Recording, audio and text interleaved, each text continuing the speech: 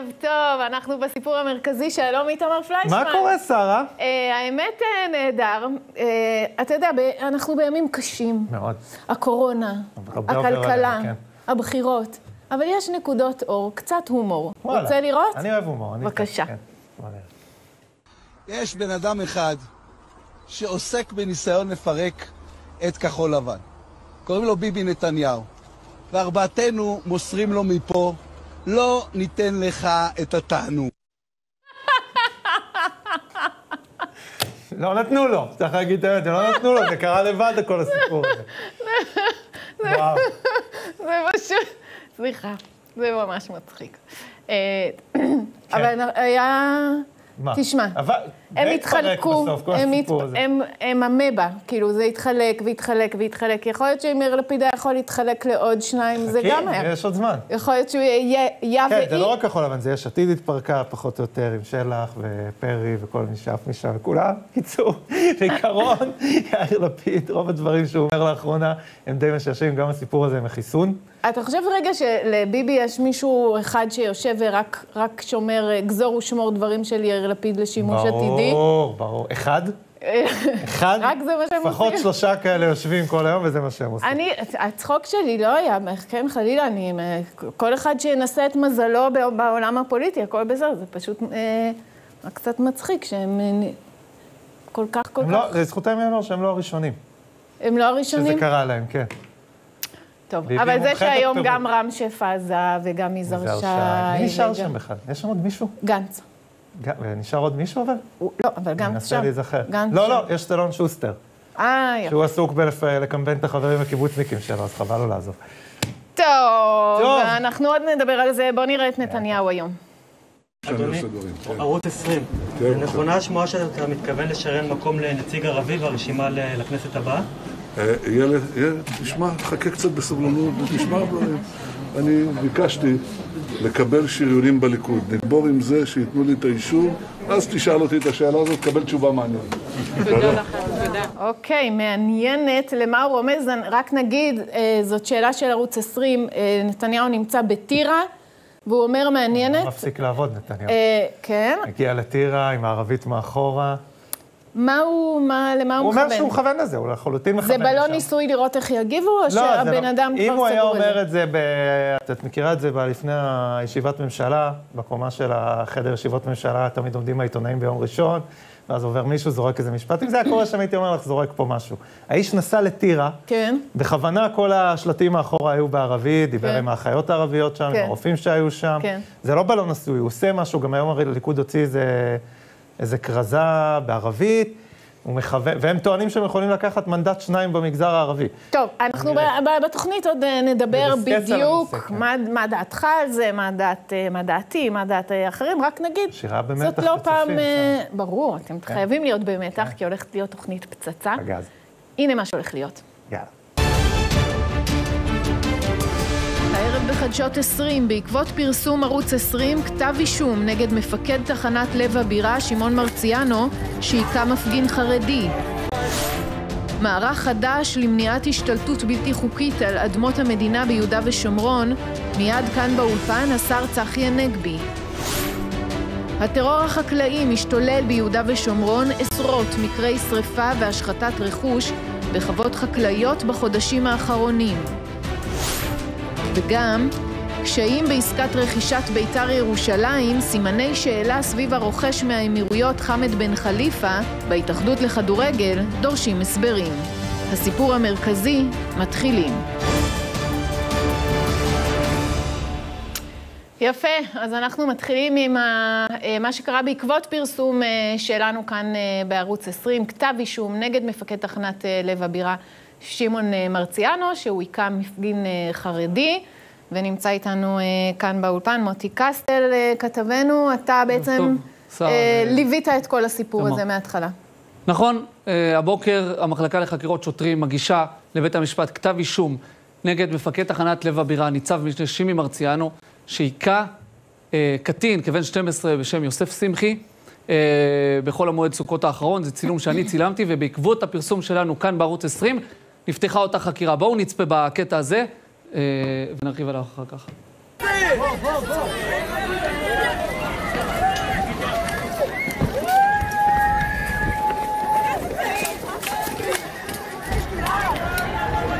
וואי וואי! זה בן זונות! גרמני! נאצי! הכל נפרד! כמו שראיתם, לאחר שהילד הזה היה על הרצפה, הוא גם אה, סתר בפניו. אני חייב לציין, מדובר היה, הייתה בהפגנה אלימה, כללה יידויי אבנים והתפרעויות, אבל... וגם אנחנו שומעים ברקע שקוראים לשוטר אה, נאצי, זה גם דבר לא נכון, מקובל. נכון, חמור מאוד, וצריך לגנות את זה בכל פה. אבל אותו ילד לא היה קשור לאירוע הזה. אני נעלתי את הסיפור הזה מכל הכיוונים, 12, אה, הייתי אצלם בבית, דיברתי גם עם הילד, חקרתי את הסיפור הזה, לא אעלה אתכם מכל הכיוונים, הילד הזה ירד להליכה אה, מתחת לבית שלו, הוא גר שם באזור, ואותו קצין רץ לעבר הקהל, כולם ברחו, וגם הילד הזה, זה דבר שאני רואה אותו הרבה באירועים כאלה, כשקבוצת שוטרים רצה לכיוון הקהל, הם בורחים, ואז הוא עודף אותו אל קיר הלבנים. ממש אה, מזל שהילד הזה לא נפגע בצורה חמורה, אה, אחר כך הוא גם אה, סותר בפניו. וכאמור, הבוקר הגישו נגדו כתב אישום בעניין הזה. עוד הם מציינים שם שלאחר אותו אירוע, שגם לא הייתי עד, הוא תפס איזשהו מפגין שצילם את אותו, גם את איך שהוא מוביל את הילד הזה לכיוון הניידת, ודחף אותו לכיוון השיחים. וזה מעניין, זו תופעה שהיא, אני חייב לציין, התחלנו לראות אותה לאחרונה יותר כן. ויותר. בהמשך יהיה כאן אה, סגן ניצב אסי אהרוני, שדובר אה, המשטרה, ושיהיה כן. כאן, נראה מה התשובות שלו לעניין הזה. ניצב יחיא מרציאנו עדיין בתפקיד, אני אותו, ראיתי אותו אפילו אתמול בערב במהלך הפגנות בבר אילן. אני רוצה להגיד לך משהו, הרבה פעמים נפתחות חקירות במשטרה, הרבה פעמים הן נסגרות בדרך כלל מחוסר אשמה, חוסר עניין לציבור, והדברים האלה בסופו של דבר... יש לנו פה כתב אישום.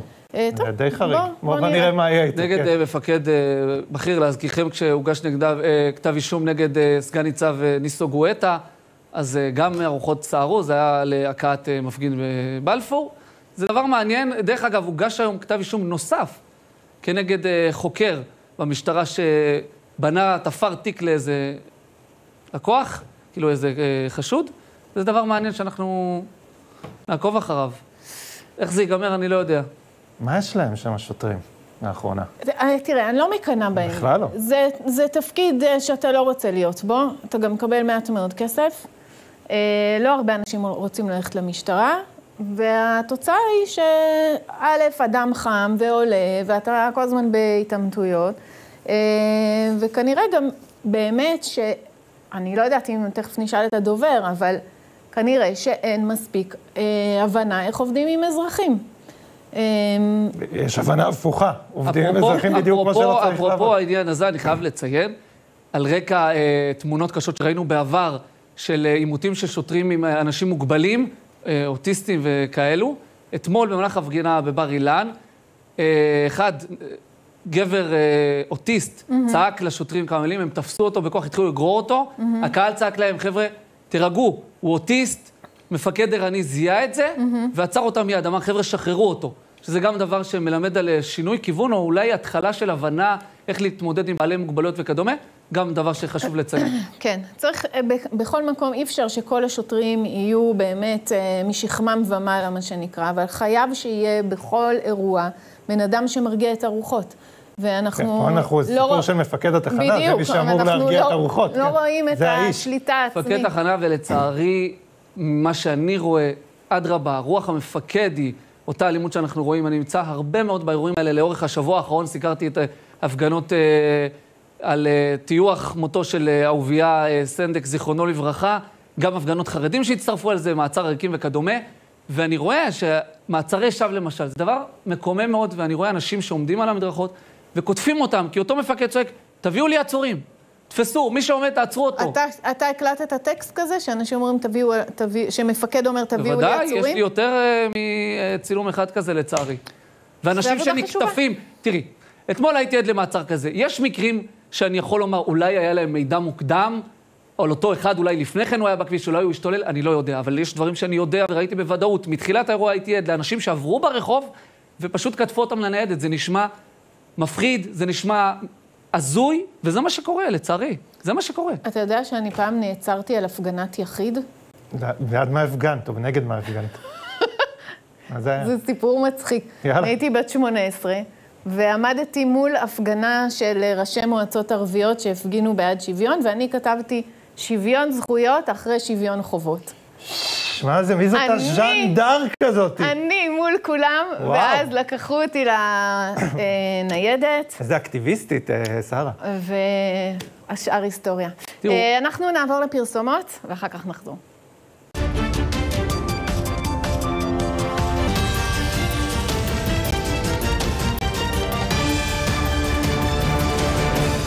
תודה שחזרתם, ועכשיו... ממש תודה. תודה שהוספת את זה, שרה, זה היה חשוב. לא, כי זה היה כאילו, אני ממש שמחה זה היה שאתם... תודה מכל הלב. גם כן. נכון. מורידה מה... זה של התודה שלי. לא נורא. אנחנו ממשיכים מהעניין הזה שהוא פחות מצחיק, מה שדיברנו עליו קודם, כתב האישום נגד שמעון מרציאנו, מפקד תחנת לב הבירה שהיכה ילד חרדי, צריך להגיד, בן 12, ואיתנו כדי לענות על זה ועל שאלות נוספות נמצא סגן ניצב אסי אהרוני מדוברות משטרת ישראל. ערב טוב, אסי. שלום וערב טוב. מה קורה? מצוין. בוא, בוא תסביר לנו מה קורה קצת לשוטרים בזמן האחרון. זה גם לא כתב האישום הראשון, אנחנו רואים גם סרטונים מטרידים מאוד של פשוט שוטרים שמפליאים מכות באזרחים. אז תראה, קודם כל צריך להפריד. אנחנו באמת רואים, אני, אני האחרון שתשמעו אותו מגן על אלימות מכל סוג שהיא ומכל צד שהוא, ואין פה גם צדדים. אני לא מאמין שיש פה צדדים, אין פה אנחנו ואתם, אנחנו כולנו ביחד. וכן, יש סרטונים שמראים שוטרים, יש סרטונים שמקטע מסוים מראים דבר אחד, וכשיוצאות מצלמות הגוף מראות דבר אחר, אבל אני רוצה לדבר על משהו קצת יותר עמוק מזה, כי באמת אני מוטרד. אבל תדבר על המשטרה, פה- לפני שאתה הולך המשטרה, להאשים אחרים. על המשטרה, ואני לא מאשים אף אחד. אוקיי. את לא תשמעי אותי מאשים לא את זה ולא את זה.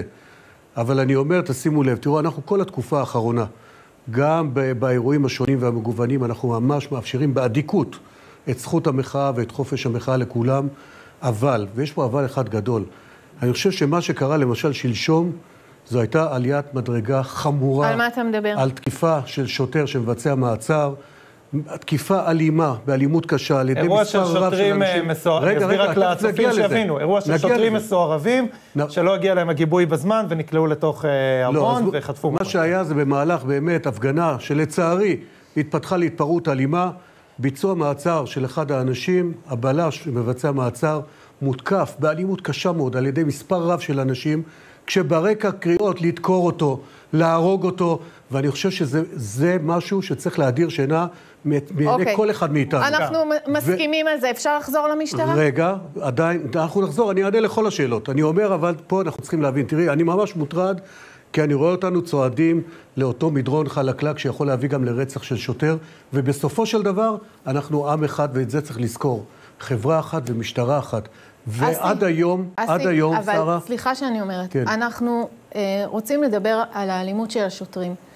יש בשוליים, בהפגנות, כאלה שהתנהגו לא בסדר וצריך לעצור אותם, אנחנו מגנים את זה וזה ברור.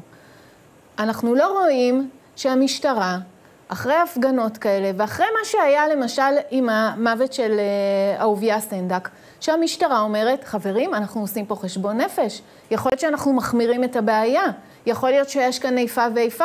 יכול להיות שצריך לסגור את משטרת ש"י שקמה בהסכמי אוסלו, כדי, כמו משטרת השלום שאמורה להגן על הסכמי השלום מפני המתנחלים שמסומנים מראש כאויבים של הסכמי השלום. שרה, מה שעשינו כרגע זה להיות החוקרים, השופטים והתליינים, כשמתבצעת ממש ברגעים אלה בעיצומה חקירה גם אודות האירוע וגם אודות התנהלות השוטרים. מי, אני לא, מציע- רגע, רגע, רגע. אני מי מציע, חוקר? רגע. מי, מי מבצע את החקירה? מי, שמח, מי שחוקר את השוטרים כן. זה המחלקה לחקירות שוטרים, יש לא יש אנחנו. צוות משותף למשטרת לא. ישראל. יש צוות של משטרת ישראל כן. שחוקר את האירוע עצמו, ויש איך הוא יכול של לחקור המח- את האירוע הזה? את האירוע הפלילי, ולא את האירוע של השוטרים, לא את התנהלות השוטרים. מה האירוע יש פה הפלילי? בסוף יש לא פה גם. אירוע שבו היו אנשים שיידו אבנים, יש קריאות מוקד, יש פניות למשטרה, יש פה רכב שפורץ מחסום משטרתי ונמלט ומתבצע מרדף, אבל תראו, בסוף, אני אומר, כרגע מתנהלת חקירה גם על זה וגם על זה. בואו נמתין, נמתין, נלמד מה היה שם, אבל לפני שאנחנו אתה, מקבלים דעה. כל- סגן ניצב אהרוני, כל מה שאמרת לי עכשיו, זה מה החשדות כלפי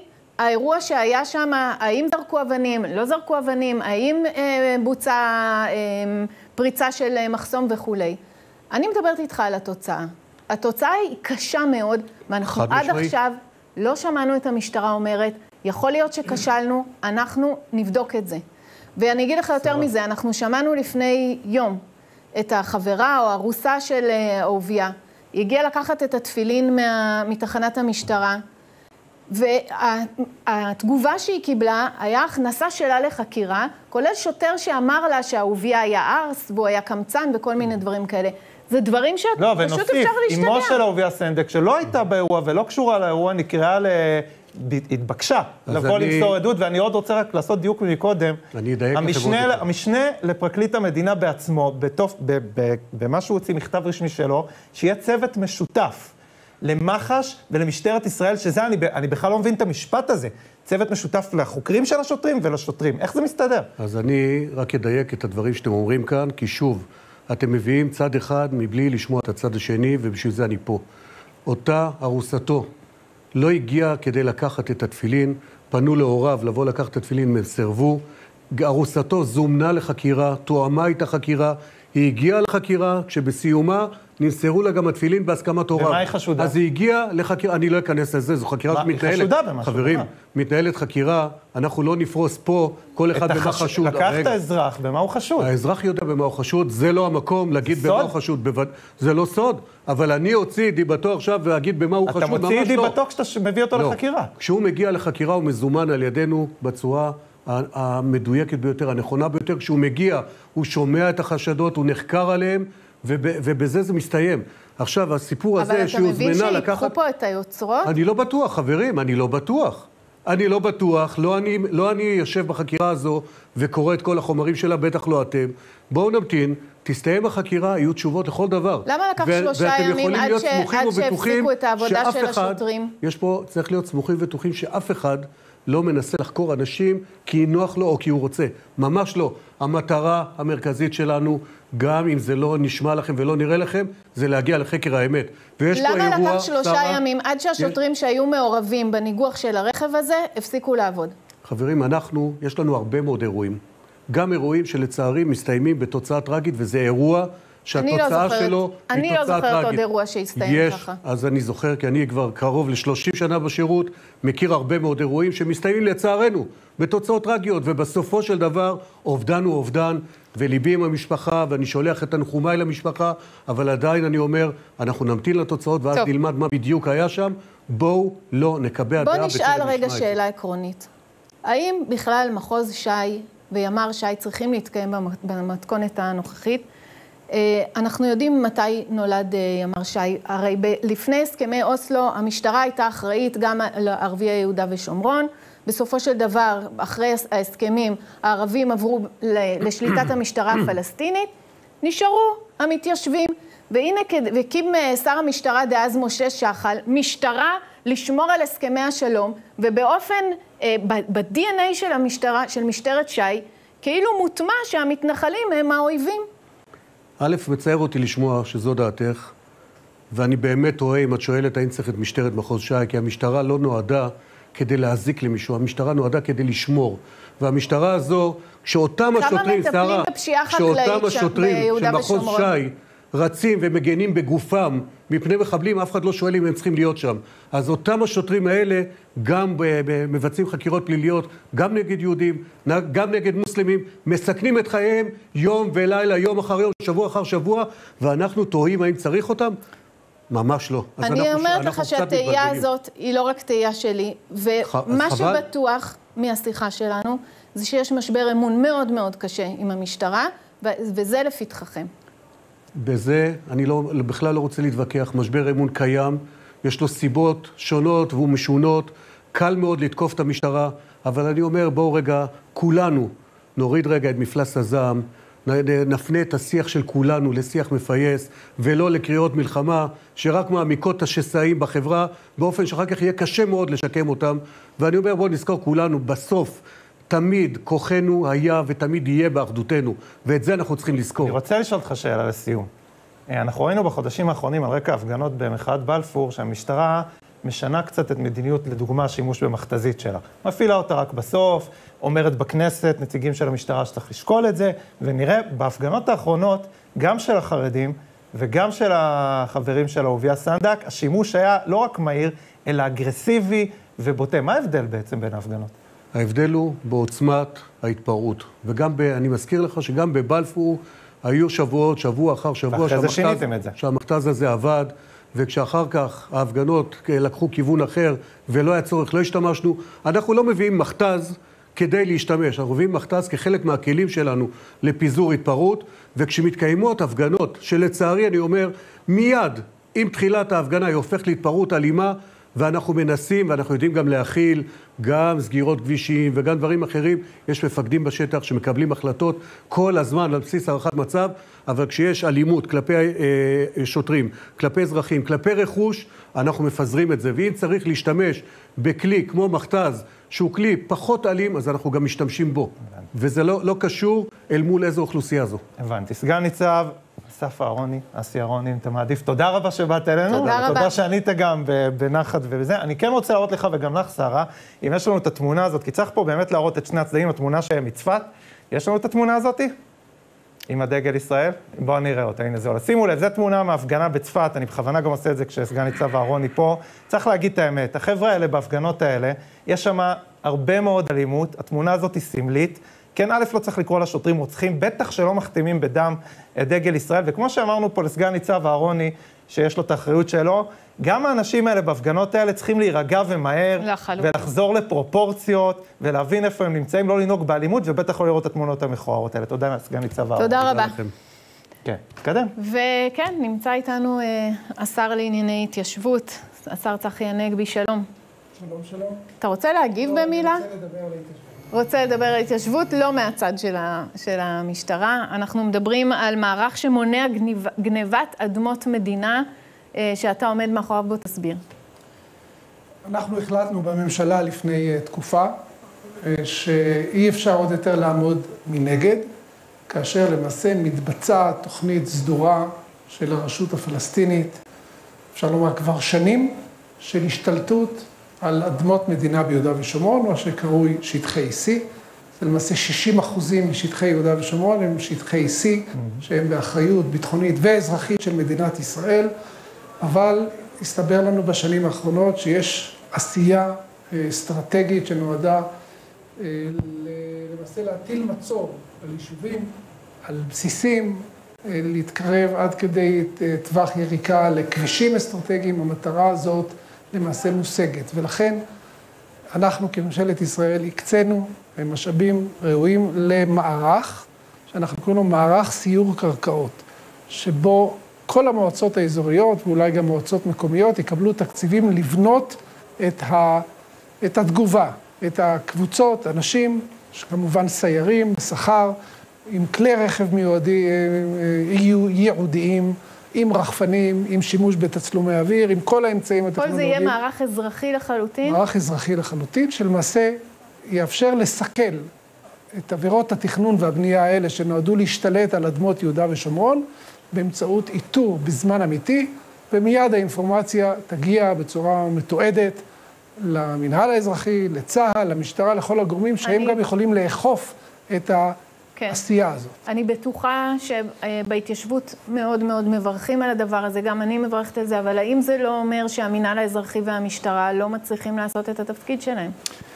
יש למינהל האזרחי ולמשטרה משימות ואין ספור אתגרים. מספר הפקחים של המינהל האזרחי ביהודה ושומרון הוא 17 איש על 5,700 אה, קילומטר רבוע, זה בלתי אפשרי. בצדק הם אומרים, המשימה הזאת היא, היא מאוד חשובה, אבל תנו לנו כלים. אז אנחנו עכשיו לא נותנים להם את הכלים, אנחנו נותנים למועצות האזוריות את הכלים, כדי שזה תהיה באמת יחידה שכל כולה אה, ממוקדת ביעד הזה, באתגר הזה.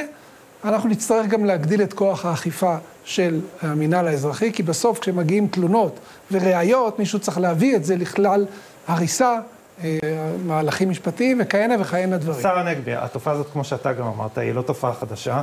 וגם יש המון תיעוד של הדבר הזה. יש לי שתי, שתי שאלות. הראשונה, מה אתם מתכננים לעשות עם הכמות הבאמת גדולה מאוד של מבנים ושל חורשות וכל מיני דברים כאלה שכבר נמצאת בשטח? השאלה השנייה, אחד הגורמים שעומדים מאחורי התוכנית הזאת של השתלטות השטחי C, זה מדינות זרות מאירופה ששופכות שם כמויות אדירות של כספים.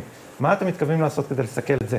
נכון מאוד. אז קודם כל, כמו שאמרת, זה לא משהו מקרי. יש פה ראייה לטווח ארוך של הרשות הפלסטינית, איך למנוע ממדינת ישראל לאחוז בשטח.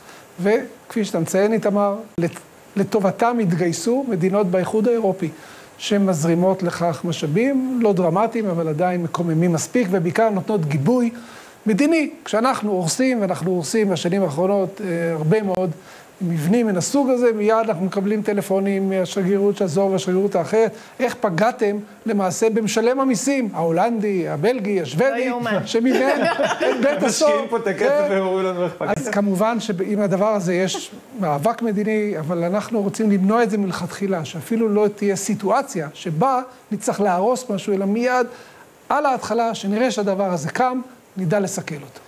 צריך לומר שהרשות הפלסטינית עושה מאמצים כבירים, זה לא סתם השתלטות של אה, גורמים פרטיים שמתחשק להם להקים זה אה, עוד איזה זה שהם... תוכנית פיאד. תוכנית סלאם פיאד, הוא כבר לא אה, בשטח, אבל כשהוא היה ראש הממשלה, הוא כנראה איש מתוחכם, והוא הבין שהדרך למנוע את האחיזה היהודית היא... גאולת קרקעות, היא לקעקע את האפשרות. לעשות הזאת קק"ל באמצעות אחיזה פלסטינית בלתי חוקית.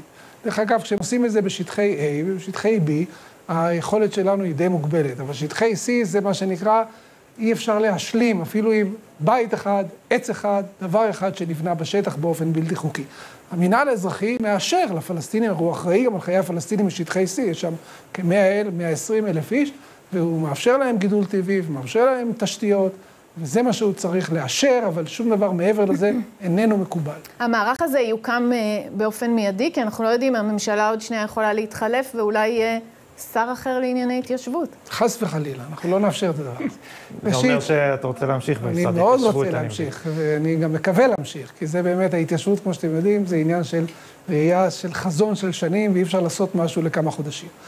הסיפור הוא שהיום, לכן כנראה אני פה, היום פרסמנו את מה שקרוי אה, נוהל התמיכות, כלומר, הקריאה למועצות האזוריות להגיש את הבקשות על פי הטופסולוגיה המוכרת, לקבל את המשאבים האלה, להוכיח לנו כן. שהם יודעים לעשות שימוש ראוי במשאבים שהמדינה מקצה להם. כן, אנחנו חייבים לסיים. אני רק אה, רוצה לשאול אותך התייחסות אחת למה שראינו בתחילת המהדורה. נתניהו אמר, אה, אני ביקשתי שריונים, ורמז לכך שאולי הוא רוצה לשריין דווקא אה, ערבים לרשימה. מה אתה כן, חושב? אני ראיתי את השאלה שכתבכם שאל, וזה לא מפתיע, ראש הממשלה כבר הרבה מאוד שנים מאמין שאנחנו יכולים לקבל תמיכה משמעותית מ- ממגזר ערבי שקצה נפשו בייצוג העוין לעצם הזהות היהודית ולזהות הציונית של הנציגים שלו. עד כמה זה דבר שמחייב שריון, זה באמת החלטה של ראש הממשלה. אני יכול לומר לך שבתנועת הליכוד יש מתוך כ-125 אלף חברים, יש אלפי חברים מוסלמים. לא מדבר כבר... ואתה בעד שריון למוסלמי ברשימה? קודם כל, אנחנו מאפשרים למוסלמים להתמודד כמו כל אחד אחר, ו- אבל הפעם אין התמודדות, ולכן ראש הממשלה יחליט האם הוא מאפשר שריון גם למועמד אז אתה בעד או לא? בעד או לא? אני בעד לאפשר לראש הממשלה להחליט מה נכון, כי יש המון המון המון דברים. תודה רבה. השר צחי הנגבי, תודה רבה לך. תודה. בהצלחה. כן, אנחנו נמשיך עם אנחנו, הפוליטיקה. כן, בהחלט, מצטרפים אלינו שניים, יעקב ברדוגו, פרשן פוליטי, רוני רימון, יועץ תקשורת, שלום לשניכם. ערב טוב. ערב טוב. ערב טוב, אני לא יודעת אם שמעתם... בחרתם לכם לוקיישן. כן, מה, אנחנו שומעים הרבה רעש אה, מאחוריכם, אתם שומעים אותנו, אני מקווה, ואולי שמעתם... כולם מפגינים נגד רוני רימון. מפגינים כאן נגד רוני. טוב, הוא הצליח להביא פה אלפי אנשים. מה זה, איזו הפגנה מאחוריכם? הלוואי שהייתי זוכה לרגע הזה שיהיו כל כך הרבה אנשים שמפגינים נגדי. מה ההפגנה? שרה, בואי נתקדם לעניין. יאללה, אז בואו. לא יודעים, אני- אנחנו גם לא יודעים. אוקיי, אז uh, אני לא יודעת אם שמעתם, אבל אולי נתחיל uh, רק עם הזנב של השיחה שלנו עם uh, צחי הנגבי. Uh, יכול להיות שריון של נתניהו uh, בליכוד דווקא למוסלמי? אתם חושבים שלשם הוא חותר, לערבי? לא יודע, מה הוא אמר לצחי הנגבי? שנתניהו רוצה לשריין אנ- אה. בישראלי בין... אה, אנחנו אם, אם, נתניהו, היום... רוצ... אם, אם נתניהו ישריין אה, אה, ערבי ברשימה, מה הבעיה עם זה? אני, זאת ש... אומרת, אני אה, שואלת האם מה- לדעתך מה- זו מה הבעיה? הכוונה הם לא- שלו. הוא לא אזרח ישראלי? מצוין, מה, מישהו אנחנו... מדובאי הוא מביא? ברדוגו, אנחנו שואלים האם זאת הכוונה שלו, לדעתך. אה, אני לא יודע. אני לא אוקיי. יודע אם זו הכוונה שלו. אני יודע שזו טעות שהייתה לבטל את הפריימריז, אבל אני יכול לקבל את צוק העיתים של הקורונה כאיזה אה, נימוק דחוק. אני חושב שהפריימריז היה צריך אה, להתקיים, אבל אם הוא לא מתקיים, ויש מקומות לשריין, ודווקא אה, מקומות שהם בשולי מה שנקרא הרשימה, ואפשר לייצב שם אזרחי ישראל אה, נאמנים, אה, מדוע לא? אה, יהיו דרוזים, אה, ערבים, אה, מהמגזר החרדי, מהמגזר הדתי, מי שלא יהיה, למה לא? אזרחי כן, ישראל, למה לא? האמת שנכון, אנחנו זוכרים למשל את ענת, אה, אנט אה, חזקיה שהייתה בימין החדש אז. בבית אה, היהודי. בבית היהודי. אה, התמודדה בפריימריז בבית היהודי ב-2015, היו הרבה מאוד, ויכול להיות שזה יקרה, סתם מעניין האם לשם נתניהו אה, חותר. כש, אה, כשאני הייתי מנכ"ל השלטון המקומי, כן. ראשי ערים מהמגזר הערבי היו אה, מה שנקרא בשיתוף פעולה, ואני גרתי בעיר ערבית יהודית, ואני לא מבין את העניין הזה. אם מישהו מקבל על עצמו את אה, עקרונות הליכוד, אה, למה לא? כן. אני לא יודע איך זה מסתדר ואיך זה הולך, אבל כן. אני חושב שזה יכול להיות... אה, ז'בוטינסקי אוקיי. אמר בין הרב ובין אה, הארץ כן. הזו. טוב, בואו בוא נדבר קצת עם רוני באמת על הדברים שעברו השבוע וקרו השבוע ויותר לאן אנחנו הולכים, הפרישה של גדעון סער, הקמת מפלגה של חולדאי עם ניסנקורן, אתמול גם זליכה הצטרף, וכנראה יהיו עוד מפלגות. רוני, זה יישאר ככה או שיהיה פה, נראה בלתי נמנע שיהיה איזשהו איחוד? אני מצטער, לא שמעתי. אני לא שומע אתכם. אני עוד פעם נחזור על השאלה, אבל אני רוצה שתתייחסו קצת למה שקרה השבוע, גדעון סער ורון חולדאי ובני גנץ, שהמפלגה שלו בעצם לא קיימת. מה אנחנו הולכים לראות בשבועות הקרובים עד השישה בפברואר, סגירת הרשימות?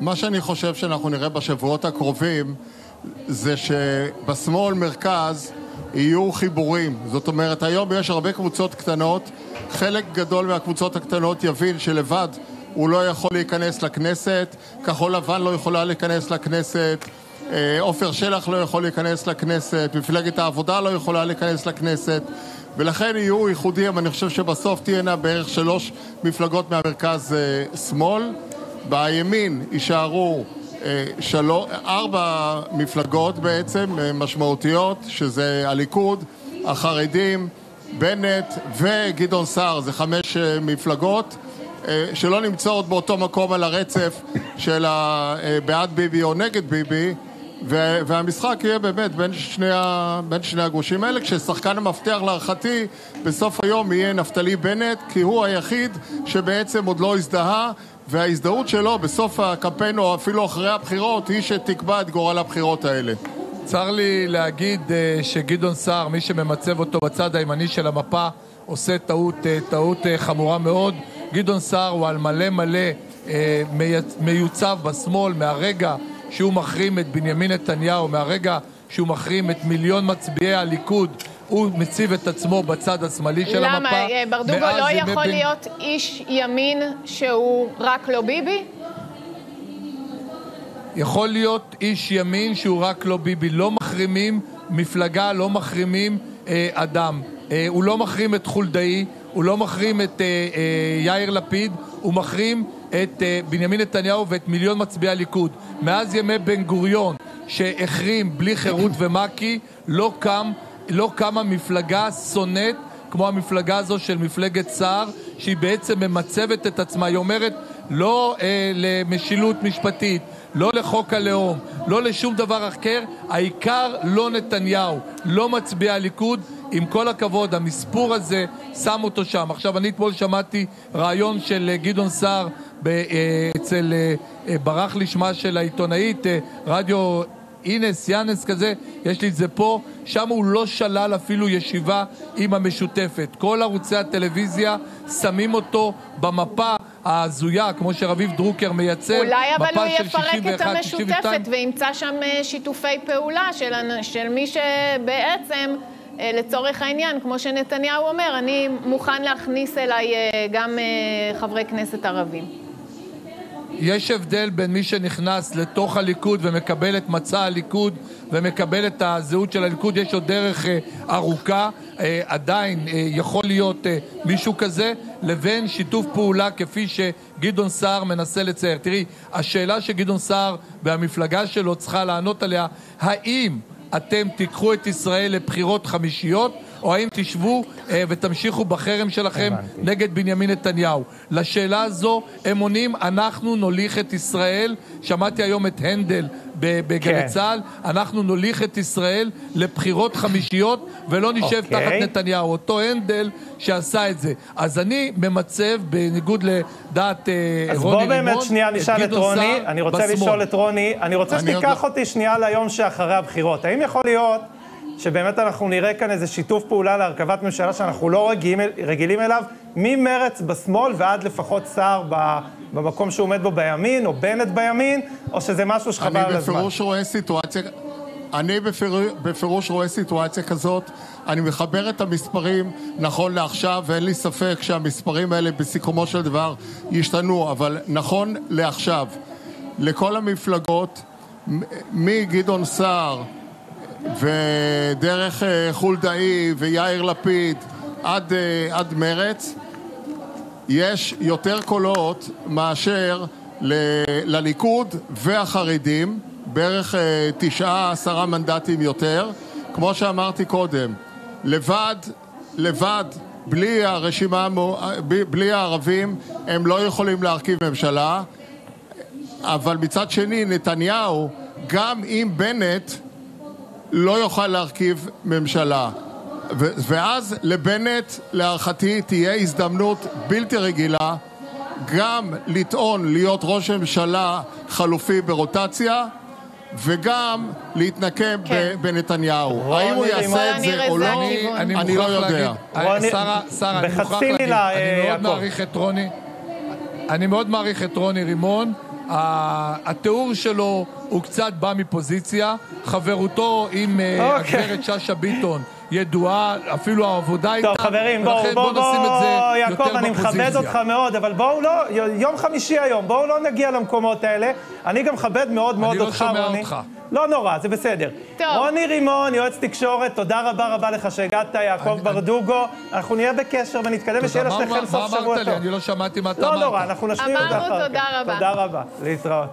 אוקיי. זה- וואי, זה רעש מסכנים. כן, טוב, מסכנים. אה, אנחנו, אה, האמת, נוגעים בהרבה נושאים אה, קרובים. הטרור החקלאי ביהודה ושומרון משתולל, עשרות מקרי אה, שריפה והשחתת רכוש בחוות אה, חקלאיות בחודשים האחרונים.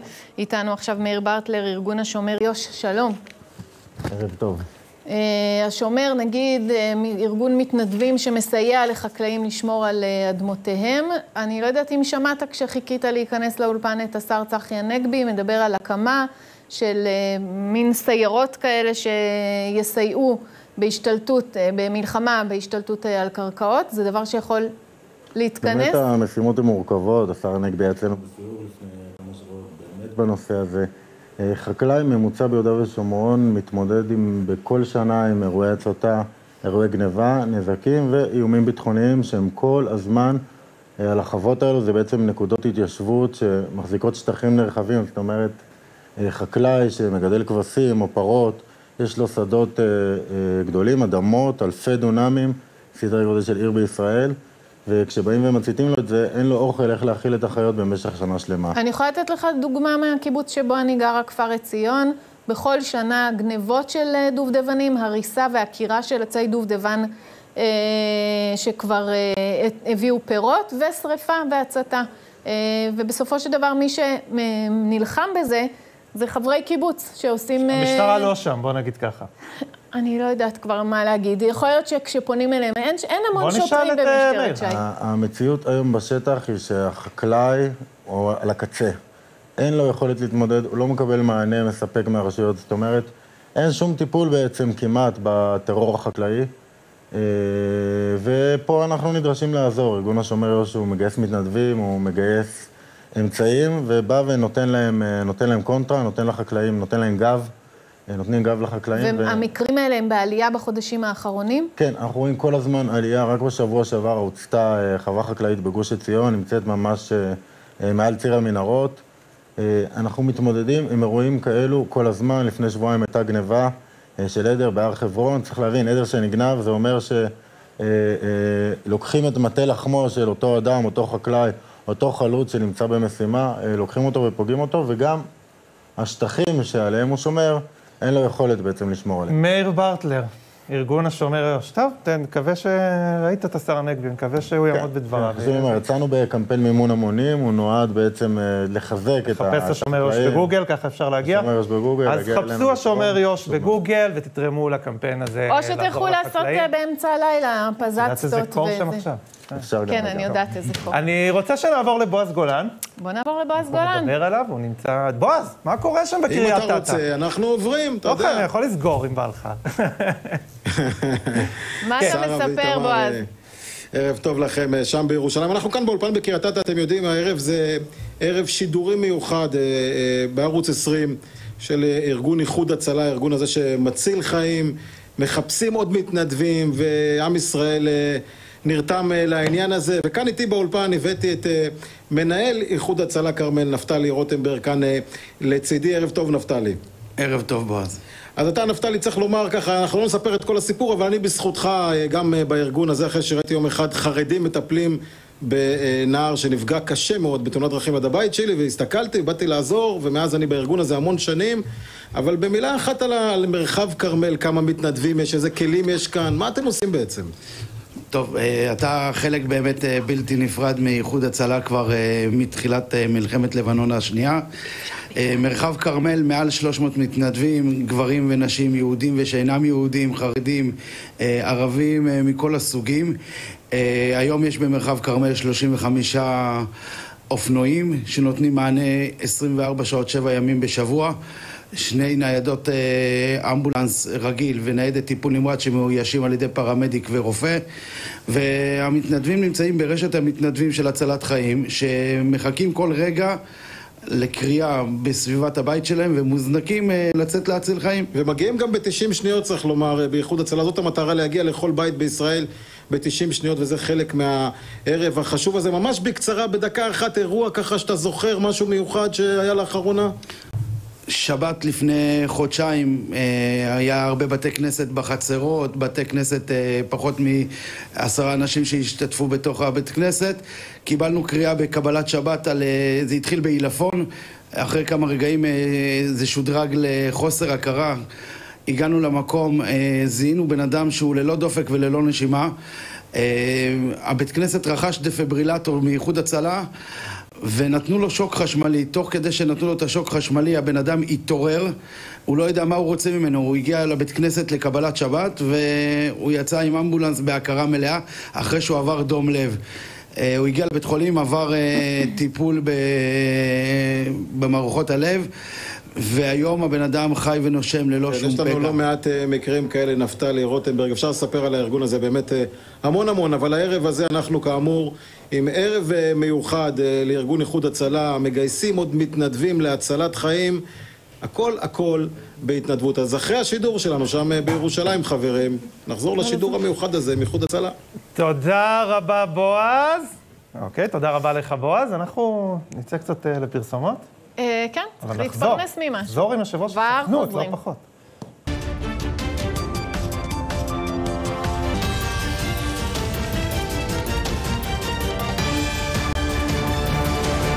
תודה שחזרתם אלינו, ועכשיו חוזר אלינו לאולפן מוטי קסטל כתבנו. מוטי, שבוע שעבר סיפרנו כאן על uh, שבטים בדואים ואחרים שהחליטו להתמקם ליד כפר חב"ד, ממררים שם את החיים לתושבים, נכון. ועושים כל מיני עבירות פליליות. יש התפתחות קלה בסיפור הזה. הבאנו באמת את סיפורם של תושבי כפר חב"ד, שסובלים כבר תקופה ארוכה מחמולה בדואית שהתיישבה שם סמוך לבסיס צבאי. בכפר ו... חב"ד, נזכיר, כפר חב"ד, מרכז הארץ. מרכז הארץ, מאיפה הגיעה החמולה הזאת? החמולה הזאת יושבת כבר שנים ארוכות, ללא הפרעה, סמוך לבסיס צבאי. אה, בשביל להפריד... כמה זמן הם שם? שנים ארוכות. אבל. הבסיס הזה עצמו, הקימו שם חומה, זה פשוט לא יאומן, הקימו חומה כדי לחצוץ בינם לבין אותה משפחה בדואית. כשאני פניתי בזמנו לצבא ושאלתי אותם מה הסיפור, הם אמרו לי, בעבר היו לנו פריצות לבסיס דברים, כיום אין הרבה תלונות, mm-hmm. אבל התושבים סובלים שם מגנבות חוזרות ונשנות, טרקטורונים ורכוש, הם סובלים את זה, אבל לאחרונה החלו שם אה, קולות ירי בלילות, התושבים מספרים שהם חיים בפחד וירי. הבאנו לכאן גם אה, לאולפן את אחד התושבים שסיפר על זה. פנינו למשטרה, והמשטרה אומרת, לא קיבלנו אוקיי, תגובות על ירי. אוקיי, ומה קרה השבוע? השבוע המשטרה, בעקבות אותו פרסום, ככל הנראה, החליטה להגביר שם את האכיפה. אתמול כוח אה, שוטרים בסיור במקום, מזהים באותו פרדס עליו אנחנו דיברנו, רכב חשוד. הם מתקרבים לרכב הזה, קוראים לחשודים לעצור. ארבעה אנשים שהיו במכונית הזאת נמלטים. מה הם המשטרה- תפסו שם, קפיצים? המשטרה חלקים מנהלת של המחיר M16. מרדף זה חלקים ותופסת של M16? את אחד התושבים עם וואו. כמה תיקים. לא סתם רדפו אחריהם, הביאו מסוק. הביאו. העלו מסוק לאוויר, תופסים שם תיק עם חלקי M16 וקארל גוסטה ונשקים אה, גנובים. לקחו את אותו אחד, אה, צעיר כבן 27, תושב תל שבע, לבית המשפט. היום המשטרה ביקשה להאריך את מעצרו, והנה, הפר... קודם כל, מסתבר שהתושבים לא טעו, הקולות ירי הם אה, אמיתיים, המשטרה אמרה שהיא לא, לא, לא מכירה את התלונה הזאת. מהמם. למרות שאנחנו הראינו שהתלונות היו גם היו, וגם הגיעו כוחות, כוחות למקום וסרקו ולא מצאו, מהמם. אבל אתמול מוצאים את הדבר הזה, וזה מראה שהמשטרה התחילה באמת לאכוף שם יותר. התושבים א', אומרים לנו... יפה, אנחנו כל- ב- לגמרי. בתוכנית הזאת דיברנו הרבה על אה, משטרה ועל נכון, חוסר וגם אכיפה או על התושבים, אכיפה גם בררנית. התושבים בכפר חב"ד מציינים את העניין הזה לטובה. הם אה, שמחים שה... ככל הנראה הפרסום שלנו פה גרם למשטרה לאכוף שם יותר ברצינות, וזה נותן את אותותיו, זה דבר טוב. מוטי קסטל. אנחנו נמשיך לעקוב אחרי הסיפור הזה. ברור שנמשיך. תודה רבה, תודה רבה. שבוע נעים. אתה יודע מה לא דיברנו? כאילו אנחנו... קורונה, אתה יודע שיש קורונה בחוץ? איך זה קרה לנו? אתה שומר קורונה? אני מה זה שומר, שתדעי. כן? באמת, ממש. אנחנו פה אם עם לא ה... ינון, הקקטוס בן בליעל הזה, שהייתי איתו פה בפטריוטים, הייתי גם ניצל מהבידוד, אבל אני ממש מאוד מקפיד. אז אה, יפה, כבר הרגעת אותי, כי זה נורא מלחיץ ואף אחד לא רוצה להיות לא בבידוד ולא... אה, אין בעיה, ב- גם המערכת החיסונית שלי מקדימה את הרפואה המערבית באיזה 20 שנה. אה, באמת? גם, כאילו, את יכולה רק להידבק מהמערכת החיסונית שלי. ואז מה להיות אתה אומר? מחוסנת אתה- לת- לא, אני לא מבין למה לא? לקחו את הדם שלי, ופשוט כאילו חילקו אותו לתוך חיסון לאנשים. ושכפלו. זה- פתחתי על עצמי עכשיו, איך. שאני יוצא מכאן שחפת. טפו, טפו, חס וחלילה. אבל אני רוצה להגיד לך כן. משהו. אה, אנחנו בסיטואציה נורא משונה. מצד אחד, התלהבות ענקית מהחיסונים, מצד שני, לפחות בסביבה שלי, יותר ויותר אנשים בבידודים, נכון. יותר ויותר אנשים אה, חולים, ונדמה לי שאנחנו צריכים לתפוס את עצמנו, כי אה, האווירת אסה כזאת, של כאילו עוד שנייה הקורונה לא כאן, היא בעוכרינו ממש, וכשאנחנו רואים כל כך הרבה חולים היום, לצערנו זה עם מספרים מאוד מאוד קשים בעוד שבועיים. כן, אני ראיתי גם היום דיווח, ש- אני חושב שמשרד הבריאות דיבר על עשרת אלפים תלמידים במערכת החינוך שחולים. עשרת אלפים, במספר כזה במערכת החינוך, שהיא בעצם... בסדר, יש שני סופר- מיליון תלמידים, לא? כמה יש? כן, אבל יש תשעה מיליון ו- אזרחים. כן. אם מתוך כל הנדבקים, רק במערכת החינוך, והם גם לא למדו כולם עד עכשיו, הם חזרו ללמוד רק לא מזמן. זה אומר שהמערכת הזאת מייצרת הדבקות ב-2000 ומשהו, אגב, אה, צוותי הוראה ש... שנדבקו בקורונה. אבל אני אגיד לך את האמת, אני באמת כל התקופה הזאת די, אה, לא אגיד לך שאני מבודד, ולא תמיד הקפדתי על ההנחיות ככתבן וכלשונם, אבל לא נמצא בהתקהלויות, לא הולך למקומות שאני לא חייב, אבל אני קצת באסק, כי אני מתחיל קצת להריח, אני כל כך מחכה שזה יבוא, וזה כן. כל כך קרוב, זה קרוב, אנחנו מאוד בקרוב נהיה שם. זאת הייתה, אה, אם אנחנו נתייחס רגע לשנה האזרחית כן. אה, בערוץ 20, זאת הייתה שנה. קשה. קשה. לא היה כיף, אה, וראיתי היום את אנגלה מרקל אומרת, אה, כבר הרבה מאוד שנים לא הסתכלנו אחורה בכזה, בכזאת תחושה של יאללה, תלכי מפה כבר אה, השנה, ואנחנו כן באיזושהי תחושה כמה שנים של- הגרמנים לא הסתכלו על שנה ואמרו להם תלכי מפה? 15 שנה. למה היא אמרה זוכר- 15 שנה? כן, לא, זה לא, מה- היה לפני מה- 15 אני שנה? לא אולי היא מתכוונת למשבר הכלכלי של 2008? מה לא היה. בגרמניה? היה שם משעמם מאז 45. אני לא... לא. אני לא יודעת, ואני גם לא בטוחה שב-46 הם בדיוק אמרו לכי מכאן. לא, אבל היה לה איזו התבטאות במהלך הקורונה לאנגלה מרקל, שמאז מלחמת העולם השנייה לא היה דבר כזה. בואי כפרה. כן, בואי, את מנהיגה גרמנית. כן. אולי, אה, אולי לשמור. תשמע, אני מסתכלים על אירופה והם באמת אה, במצב מאוד במצב לא מאוד טוב, קשה. במיוחד בבריטניה. בבריטניה מאוד אה, קשה, ויש לנו במה קצת להתגאות. הרבה, שאנחנו- הרבה כן, לגמרי. אפשר הרבה? ממש, אני מרשה הרבה. כן. כן. אז... רק אה, שיגמר באמת. התחסנת כבר? לא, אני עדיין צעיר. אתה מה, אתה מחכה לא להגיע לגיל בקבוצת 60 סיכון. לי- כדי לא, יש להתחסן? אנשים לפניי, וגם אמרתי לך שהמערכת החיסונית שלי מקדימה את הרפואה המערבית ב-20 שנה, אז לא באמת... תיקחו אותו, פייזר, תיקחו אותו, הוא, הוא ייתן לכם קצת דם ואתם. עשירים. זה גם יהיה שווה, באמת, מלא מלא מלא כסף. יותר ממה שאתה מקבל פה? היית מאמינה? קצת, קצת. היית מאמינה? אבל בקצוות, בשוליים. זהו, אה, שרה. סיימנו. אה, היה תענוג. גם לי, תודה רבה. תודה רבה. גם לכם אוקיי. שהייתם איתנו, שתהיה לכם שבת נפלאה, שמרו על הבריאות של עצמכם. להתראות. היה טוב.